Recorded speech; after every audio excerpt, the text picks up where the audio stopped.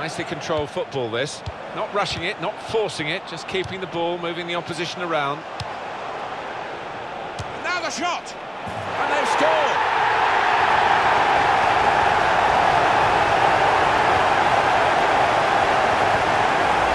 Ah, the best shot he'll ever hit in his entire career. I'm sure of that. Top left,